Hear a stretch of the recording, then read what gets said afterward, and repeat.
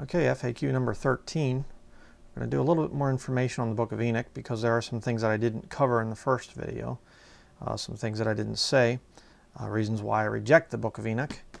And um, the main reason I reject it, of course, is because it does not appear in the King James Bible and the reference in Jude does not mention the book of Enoch.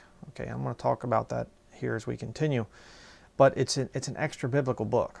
It's just like the Apocrypha, and there's heresies all through the thing. Okay, and I'm going to show you a couple here in just a minute, just from just from opening up the thing and looking at it. It's ridiculous. But for this thing to be authentic, okay, let's just think about this thing logically for a minute. For this to actually have been a book that Enoch wrote, it would have had to have been written by Enoch, taken by Noah onto the, the, the ark, made through the flood, and then survived through all those years and everything else. And, you know, many people believe that the first uh, uh, part of Genesis there was revealed to Moses. Actually, the whole book of Genesis was revealed to Moses, that God revealed it to him and he wrote it down. You know, that there were no, it wasn't that Adam wrote things and that, you know, uh, Abraham wrote some stuff of Genesis. God actually wrote it to or gave it to Moses. You know, that's what most people believe. So God didn't originally have those guys write Genesis, but Enoch wrote a book that is never mentioned in the Bible. But somehow it was taken on the ark and made it through the flood and, and was carried up through. Uh, that's very suspicious, especially when they, they claim that some of the oldest copies of this thing actually go back to the Dead Sea Scrolls and the, the cave at Qumran there or whatever, where there was, you know, a lot of weird other Gnostic type writings and things. And with this, these writings, you know, it, it it's very, very shaky. You know, and most of the copies of this thing, this book of Enoch, came after the Bible. So, of course, it's not very difficult to write a book like this and to say, you know, in Jude, he says, God reveals this thing to him, what Enoch had said way back when, not that what Enoch had written down. I mean, you can't prove that from the verse there in Jude. Enoch prophesied. It doesn't say he wrote things down, he prophesied. I'm going to show you about that here in just a minute.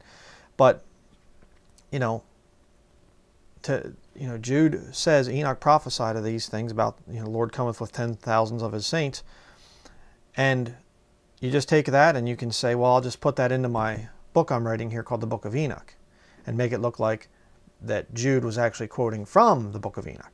See, it's very deceptive, and I believe that that's what happened. And if there is some kind of a BC type of a thing here with Enoch or whatever, it was written by people that were messing around with spirits. I'm going to show you why I say that here in just a minute. But uh, verse of scripture here, just to kind of illustrate my point, that it was not, I don't believe it was written down, what Jude wrote. I believe it was revealed to him. A similar thing occurs over here in the book of 2 Timothy, chapter 3, verse 8. 2 Timothy 3, verse 8 says, Now as Jannes and Jambres withstood Moses, so do these also resist the truth. Men of corrupt minds reprobate concerning the faith. Those two magicians that were under, under Pharaoh, uh, you don't read their name in the Old Testament, but right there you do. Now, are we to believe that Moses wrote their names down and that that little piece of paper or whatever was passed down, passed down, passed down, passed down until Paul finally got a hold of it and said, you know what, I'm going to include this in my letter to Timothy. Of course not. God revealed it to, to Paul in that passage. Just the same way God revealed what Enoch said, what he spoke way back before the flood, he revealed what was spoken to Jude. It wasn't that he was reading, that Jude was reading from the book of Enoch. Okay, that's that's nonsense. But let me just show you this thing here. This book of Enoch. You can see it here. I mean, I just, I literally just picked this thing up and just flipped it open and just started reading the other day. And I was just like, you know, I had to, I was waiting for something. And I thought, I'm just going to flip it open to see what I can see here. I didn't look this stuff up online or whatever else. And I just saw some of the stuff and I thought, this is, this is absurd.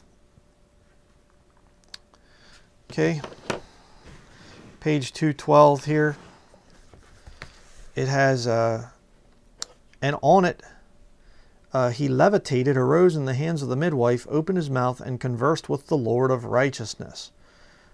Okay. here, here again, he levitated, arose in the hands of the midwife, and opened his mouth and blessed the Lord of heaven. Uh, so you get Enoch, and, and let me just say this too here, by the way, over here on this page. When he opened his eyes, he lit up the whole house like the sun, and the whole house was very bright. It says it there. He was levitating, you know, and now his father Lamech was afraid of him and fled and came to his father Methuselah, and he said to him, I have begotten a strange son, different and unlike man, and resembling the sons of the God of heaven, and his nature is different, and he is not like us, and his eyes are as the rays of the sun, and his face is glorious. Okay, I had to look that up for just a minute. Lamech, what this thing is, this nutty nonsense, this glowing baby that's levitating, that's actually supposed to be Noah. Okay? Kind of weird, too, because when you read uh, the Quran, where it talks about Jesus Christ being born, Jesus Christ was born and he's already starting to speak as a newborn baby. Noah's doing the same thing. You know, and you, and you read some of this other nutty nonsense in this thing, and it's just like there's all these weird numbers and and you know like right here let me show you this. Uh, before he appointed me to attend the, to the, the throne of glory the holy one blessed blessed be he sounds like the islamic thing again open to me 300,000 gates of understanding 300,000 gates of wisdom 300,000 all this 300,000 stuff here you know talking about this angel and the angel's writing stuff down you know and all this and and uh, and God's open to three, all these wild numbers and stuff like this.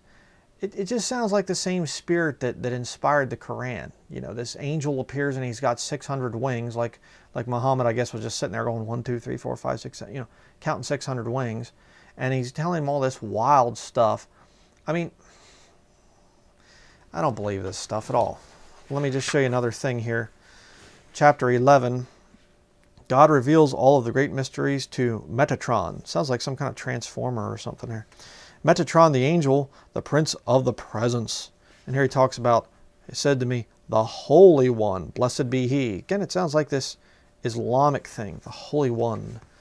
Because that's it's interesting because the Roman Catholics, you know, uh, you know, they'll they change the the King James in many places too. They'll say the Holy One, capital O. Some occult stuff going on there. Here, Metatron is given the omniscient power of God. Oh, really? Down here, God puts a crown on him and calls him the lesser, you know, Yahweh or whatever there, the YHWH, the, the lesser God there. And then again, you have the Holy One. So God takes an angel and gives an angel omniscience, that he knows everything just like God, and he's a lesser God. You're not dealing with a book that was written by saved people. You're dealing with a book that was inspired by devils. All right? And if you're reading this kind of junk, you better repent and get right with God because this is not scripture. This is dangerous. This is heresy.